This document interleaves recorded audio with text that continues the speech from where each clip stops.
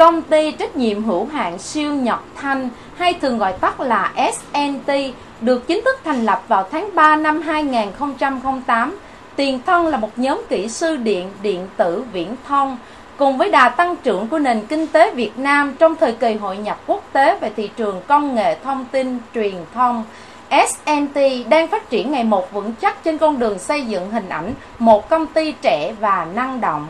SNT hoạt động như một nhà phân phối sản phẩm, tích hợp giải pháp và dịch vụ đáng tin cậy tại Việt Nam bằng sản phẩm của nhà sản xuất hàng đầu thế giới, còn với đội ngũ nhân viên chuyên nghiệp được đào tạo bài bản từ các trường đại học danh tiếng trong và ngoài nước. SNT đã và đang cung cấp cho khách hàng những sản phẩm và giải pháp hiệu quả, cam kết thỏa mãn tất cả nhu cầu và yêu cầu kỹ thuật khắc khe nhất của khách hàng giúp khách hàng nâng cao hiệu quả trong công việc.